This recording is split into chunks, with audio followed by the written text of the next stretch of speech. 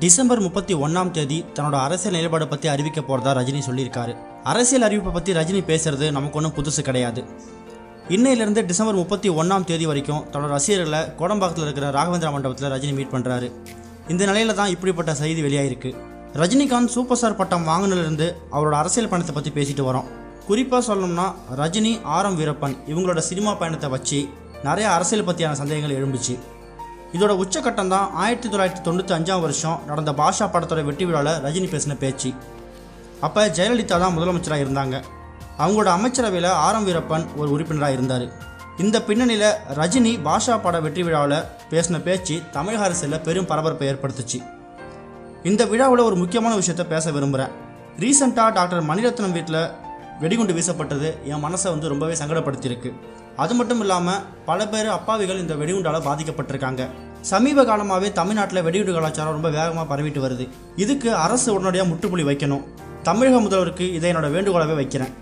வெடிகுண்டு துப்பாக்கி கலாச்சாரத்தை ஒழிக்க சட்டம் கொண்டு வரணும். சிங்கப்பூரில் போதை மருந்து வச்சிருந்தா விசாரணை இல்லாமல் தூக்கில் போடுவாங்க. அதே மாதிரி வெடிகுண்டு துப்பாக்கி வச்சிருந்தா விசாரணை இல்லாமல் தூக்கில் போடணும். ஒரு பத்து பேரை தூக்கில் போட்டால் எல்லாம் சரியாயிடும். குற்றம் செஞ்சவங்க கண்டிப்பாக தண்டிக்கப்படணும். ஆனால் இது வரைக்கும் ஒரு குற்றவாளியோட தண்டிக்கப்படலை. தமிழக போலீஸார் யாருக்கும் சளைச்சவங்க கிடையாது. திறமை இருக்கிற அவங்க கிட்ட இந்த உரிமையை கொடுங்க. தமிழ்நாட்டில் வெடிகுண்டு கலாச்சாரம் இல்லாமல் அவங்க பண்ணிடுவாங்க. இனி இப்படி நடந்தால் அதுக்கு அரசாங்கம் தான் பொறுப்பேற்கணும் இதை நான் ரஜினிகாந்தா சொல்லலை ஒரு குடிமகனாக சொல்கிறேன்னு சொல்லியிருக்காரு. இது ஜெயலலிதா பக்கத்தில் பெரிய பீதியை உண்டாக்குச்சு. ஜெயலலிதாவை வீழ்த்துறதுக்கு ஆரம் வீரப்பன் பண்ண சரிதான்னு ஒரு பக்கம் சொல்லிட்டு வந்தாங்க. இதனால் ரஜினிக்கு பல இடைஞ்சல் வந்துச்சு. அப்படி இருந்தும் பயப்படாத ரஜினி ஆயிரத்தி தொள்ளாயிரத்தி தொண்ணூற்றி ஆறு சட்டசபை தேர்தலில் ஜெயலலிதா ஜெயிச்சாங்கன்னா தமிழகத்தை யாராலும் காப்பாற்ற முடியாதுன்னு ஒரு பெரிய குண்டு தூக்கி போட்டார். இந்த நிலையில் இப்போ டிசம்பர் முப்பத்தி ஒன்றாம் தேதி தன்னோட அரசியல் பிரவேசத்தை பற்றி அறிவிக்க போகிறோம்னு ரஜினி சொல்லியிருக்கிறது பெரிய பரபரப்பை ஏற்படுத்தியிருக்கு.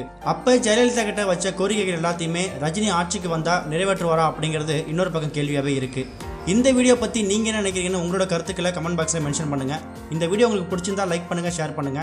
கனெக்டிங் டிவியோட அப்டேட்டை தெரிஞ்சுக்கிறதுக்கு சேனலை சப்ஸ்கிரைப் பண்ணுங்கள் இது வரைக்கும் கனெக்டிங் டிவிக்கு சப்ஸ்கிரைப் பண்ணனா மறக்காம சப்ஸ்கிரைப் பண்ணிக்கங்க. உடனடி அப்டேட்ஸ் பெறுவதற்கு நோட்டிஃபிகேஷன் பெல்லையும் கிளிக் பண்ணிக்கங்க.